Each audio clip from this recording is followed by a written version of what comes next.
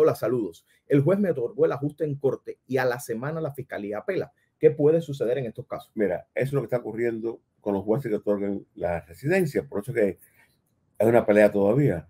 Eh, ¿Qué va a pasar? Bueno, tú vas a tener que también responder a esa apelación y contestar en los puntos legales por la cual de verdad tenías el derecho al ajuste.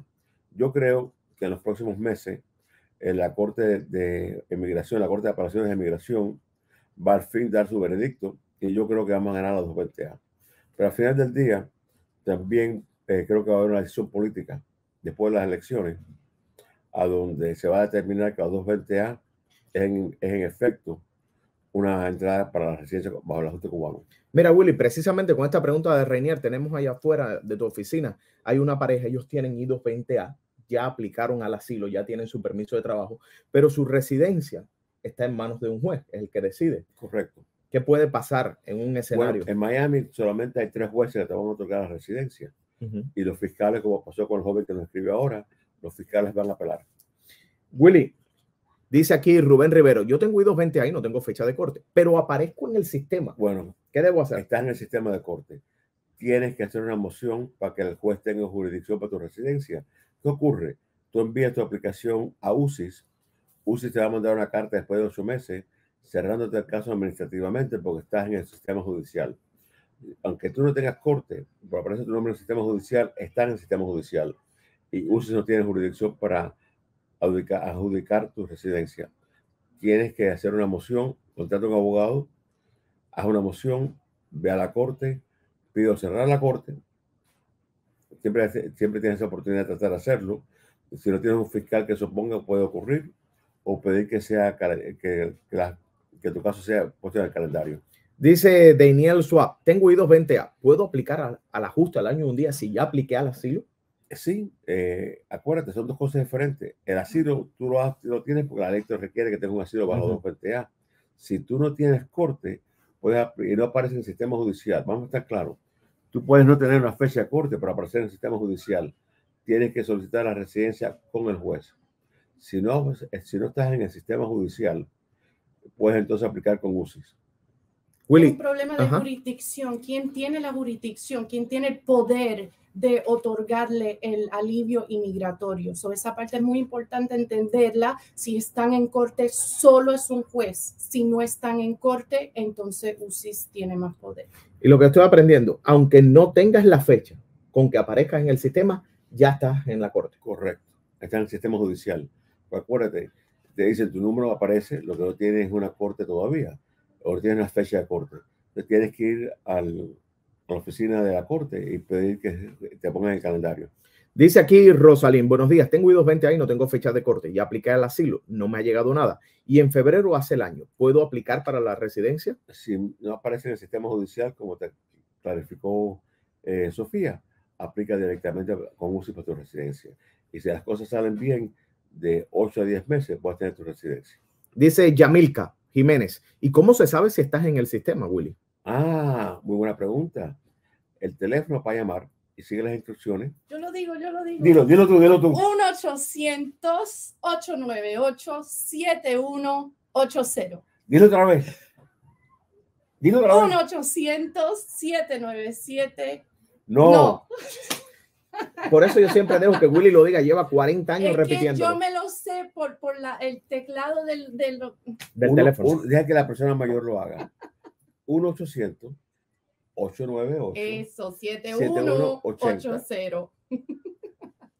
Yo aquí lo apunté. 1-800-898-7180. Yo me rodeo de abogadas brillantes y sí, todas son mujeres y sí, todas son atractivas. Ahorita va a venir Penn State a explicar el nuevo trabajo que está haciendo va a entrar María Virginia, que es una futura abogada, para explicar cómo en una semana. Que hay que felicitar a María Virginia. Oh, brillante, brillante. Hay que felicitarla. En una semana obtuvo el parol y los, y los abuelos entraron a los Estados Unidos de Venezuela el domingo. Uh -huh. wow.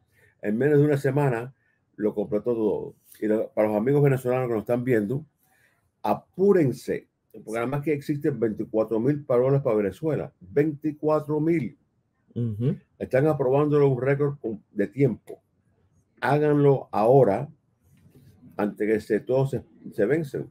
Y lo bueno del parol venezolano, que la persona que lo está patrocinando puede ser eh, pendiente de asilo, puede tener TPS, puede estar en cualquier condición legal en los Estados Unidos. No tiene que ser como se, se requiere tradicionalmente un residente o un ciudadano americano. Willy, háganlo ya. Dice aquí Michael Yanquiel, mi esposa tuvo corte el 27 de octubre pasado. Ella es I220A. ¿Por qué el juez le dio corte final para septiembre del 2023 y qué posibilidades hay de ganar? Bueno, yo no sé qué posibilidades hay de ganar. Yo no soy el abogado y no he revisado el caso. Eh, pero es posible que pase lo que le pasó a Sofía en San Antonio. En San Antonio, con la doctora que le, ganó el, asilo, tenía una 220A. Habíamos sometido a la residencia también. El juez le negó eh, aceptar la residencia y le otorgó asilo. No apelamos la decisión de negar la residencia. Un juez que ella tiene en corte ahora la semana que viene me ha negado cuatro 220A, pero me ha aprobado cuatro asilos. Y cuando ella fue a la corte, lo primero que el juez le dijo, ¿qué tenemos aquí? Otro 220A. ¿Qué sacaste tú de la mano? El parol. ¿Y qué pasó? El juez le daba la residencia en corte noviembre 23. Así que hay una diferencia muy grande entre el parol y la 220A. Con el parol, la mayoría de los jueces te van a otorgar residencia en corte. Dice Janet Chapman, Daniel, cuando fui a mi primera cita de inmigración aparecía en los papeles y me dieron un correo para que sacara otra cita y no contenta. ¿Qué problemas puedo tener? Bueno, primero, eh, la corte no te da correo para sacar cita. Eso tiene que haber sido con ICE. Porque eh, tú no puedes sacar una cita para a la, corte, tú puedes solicitar una cita por moción, como te estaba explicando anteriormente, de colocar eh, un caso frente al juez. Pero me imagino que si tú estás buscando cita por correo, era con ICE. Dice Jorge Montano, Daniel, no es recomendable aplicar a la residencia en corte con el argumento hasta que el gobierno diga qué será la I-220A. Bueno, eh, estás, estás equivocado. Yo estoy, yo estoy aplicando para todas las residencias en corte con mi argumento esperando que otros jueces también eh, se, unan. a lo que estamos haciendo. Eh, así que yo sí aplicaría para residencia, aunque el juez no esté de acuerdo, y lo peleo cuando llegue el momento del asilo. Willy, ¿y por qué? ¿Por qué no? O sea, porque hay jueces que sí lo ven y la otorgan. Bueno, en Miami nada más que hay tres. ¿Cuántos jueces hay de inmigración en Miami? Como 26. Eh, y están ahora, y los fiscales apelan. Pero igual, es una pelea. Y mira, eh, el sistema de inmigración nunca ha sido fácil, excepto durante la edad de oro del 2007 al 2017, cuando cualquier cubano que entraba le daban un parol. Ya esa, ya esa época se murió. Eh, ahora, que, ahora los cubanos somos igual que los venezolanos, que los haitianos, que cualquier otro grupo que busca protección en los Estados Unidos. Se tiene que batallar, se tiene que pelear. Willy, Vamos con esta otra pregunta, pero antes, antes, antes, ustedes saben. ¿El correo de Sofía otra vez? Eh, el correo de Sofía, por favor. Sofía con ph arroba legalallen.com.